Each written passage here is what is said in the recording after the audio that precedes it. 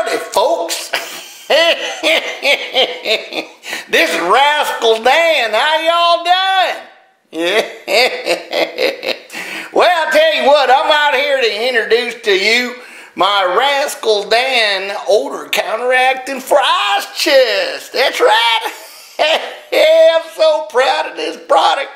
And I tell you what, if you take a look at it, I think you're going to find a lot of interesting stuff about it. Before I go into that and test this, pass this on to my buddy Paul Edwards, I want to tell you what made me think of this in the first place. I got some stories to tell you, and a lot of them start with smell of fish. Yeah, you heard me, the smell of fish. How many times have I gone into a place, smelled that smell of fish and went, whoa.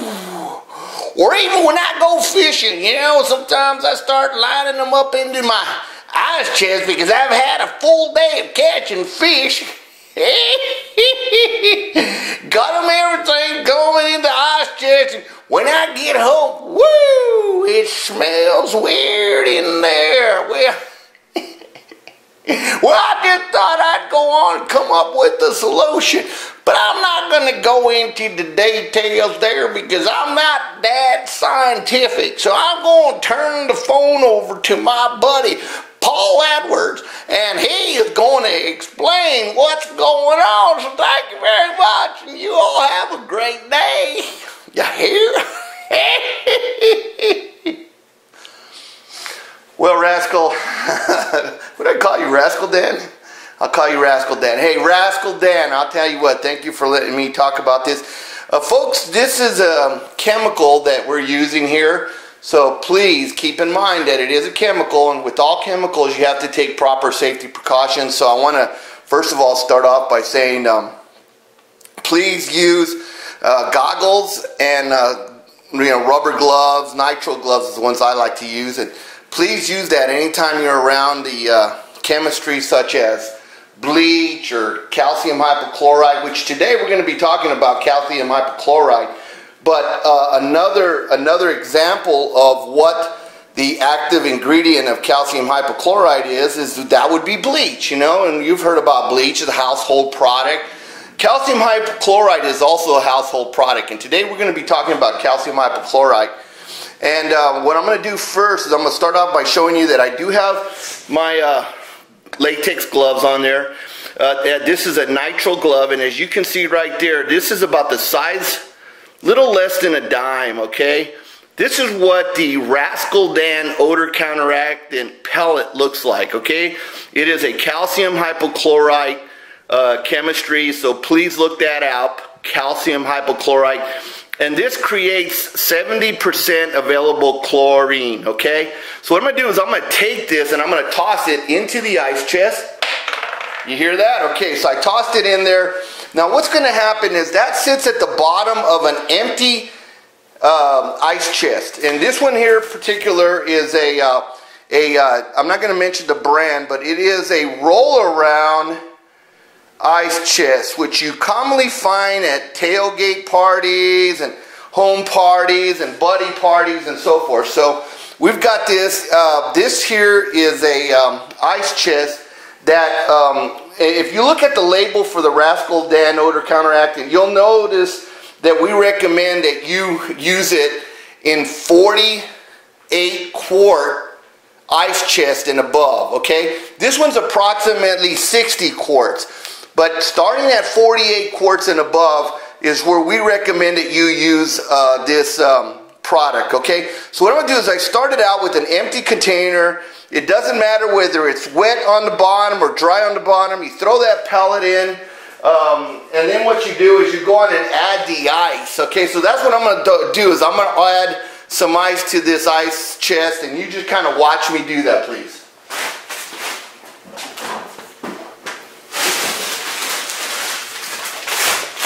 The ice has already been prepared. Uh, basically what I did was I uh, hit it against the ground a couple times.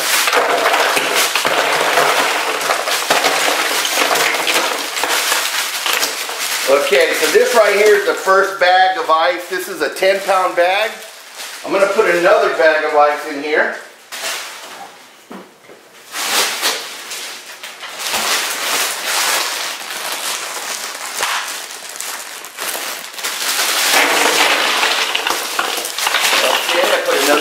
bag of ice in there.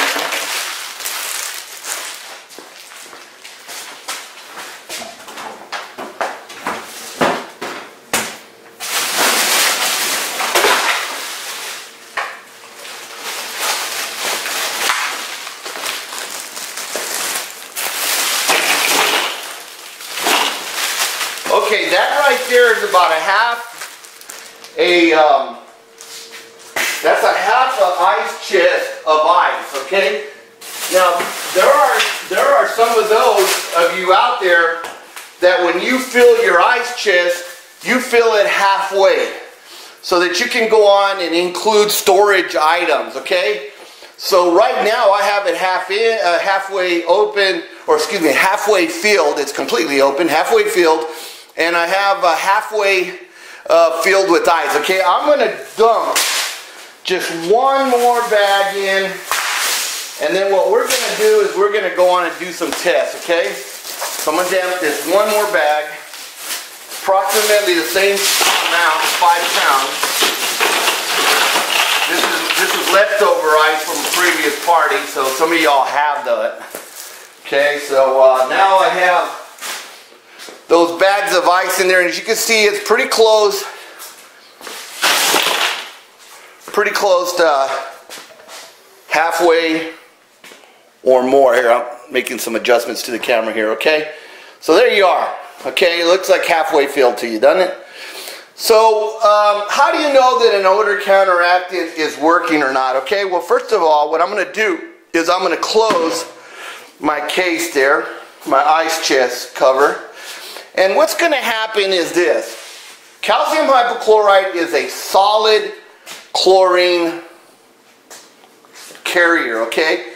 So they take calcium and they add the chlorine gas uh, into this calcium and then what happens is that when ice makes contact with the pellet, the pellet starts to dissolve ever so slowly because remember it's not like it's not the same type of dissolving rate that you would find if you had water, if you took a tablet and you dumped it directly into water, uh, its dissolving rate is going to be different from a solid uh, pellet dissolving in ice.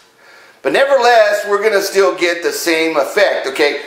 Because I've closed the top, and let's say that I do have some fish. If you if you noticed, uh, Rascal Dan was talking about fish as being the inspiration for him uh, designing uh, this solution is uh, fish is an odorous type of uh, product, okay?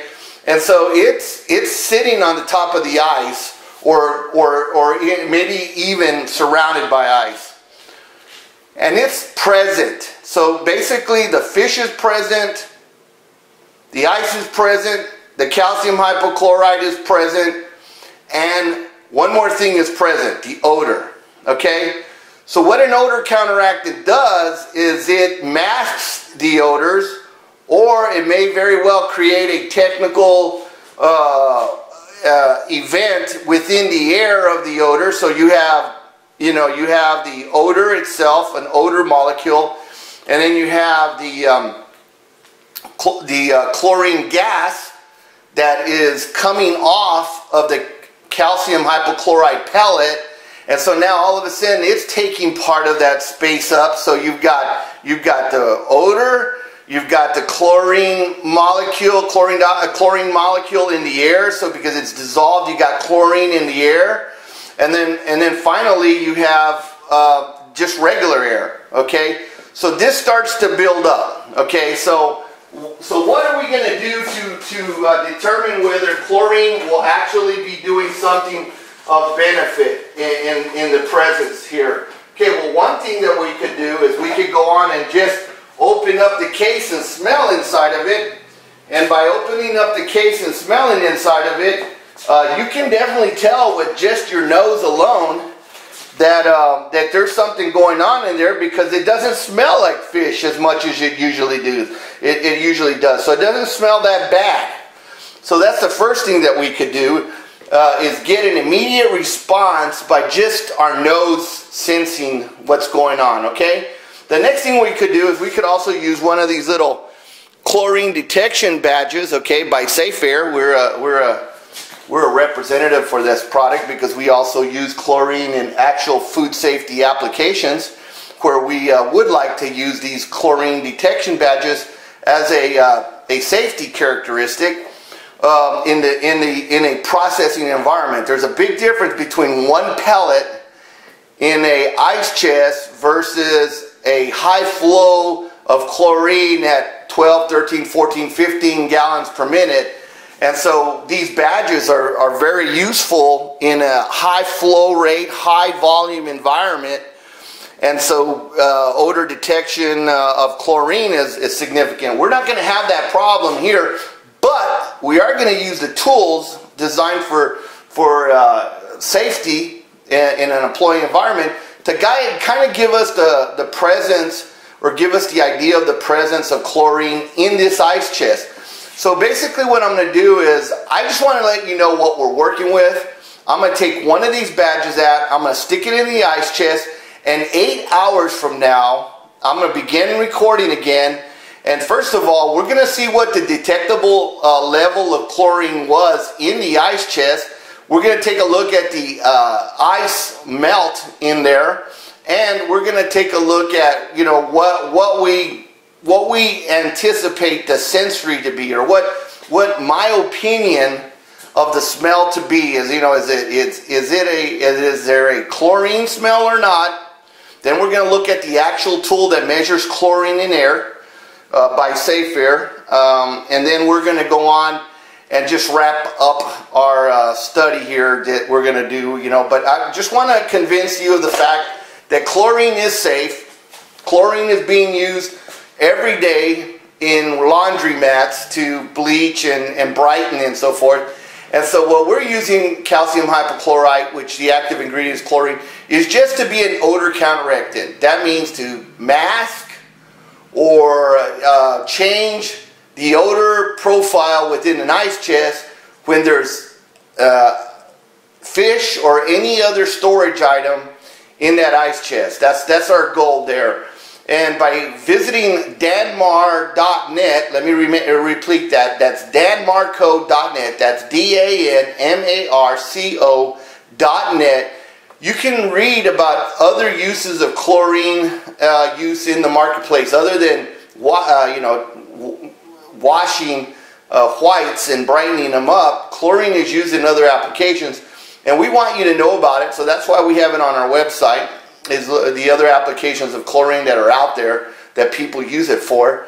Uh, but more importantly, if you need an MSDS or if you need anything else, there's uh, if you want to send me an email, going to our website, you can do that, or you can call me up, 817-822-5767. I'd be glad to answer any questions you have. 817-822-5767. We thank you for this opportunity and we'll be getting back with you.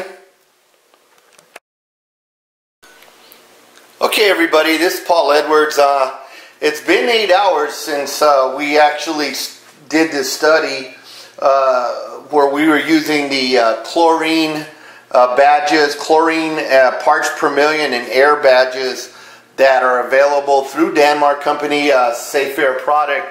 I'm going to open up the ice chest, and we have our our uh, detection unit. And as you can see here, this is the, the, the neat thing about the badge, okay? Uh, I'm going to try to explain it to you. See this opening here on the badge? Okay, when I opened the badge, I pulled a tab off it, okay? And it has an, if you look close to it, it looks like an exclamation mark, okay? And so then you, that, that exclamation mark there, that opening is, this is a material that has a chemical reagent in there and it's measuring chlorine. And so when the gas uh, makes contact with that material there, it starts to discolor over an eight hour period. And if you look real close, almost faintly see an exclamation mark there. Okay, so what you do is you take that really. That's not really an exclamation mark that you would expect to have a significant measurable level, but we're going to go on and call it a uh, measurable level, but not significant. I mean, there is no well-defined uh, exclamation mark there. Okay, you take that and you divide it by. Uh, if that was a well-defined exclamation mark, you would take that well-defined exclamation mark, which is a, considered to be a point 0.2, and you would divide that by the amount of hours that it has been exposed uh, to the chlorine. Uh, you divide that by eight hours, and so you're looking at point, was it two divided by eight? Uh-oh, we're going back into it to the old days. Okay, so you'd have to have a point zero. And uh, I would say 2 would be 16, 3 would be 24. So you're looking at about 2 point, or I mean point zero uh. Okay, if I had a calculator, I could give you exactly what it is. But that that is exactly what it is. It's 0.025, okay, parts per million air. Now, certainly I'm noticing as well as you are that that says chlorine dioxide, okay? Well, it just so happens that the chlorine dioxide and the chlorine badge is the same badge. But rather, chlorine, you take 0.18 and divide it by 8 hours. So it would make it, you know, a little bit more, probably about 0.28 maybe, uh, rather than 0.25.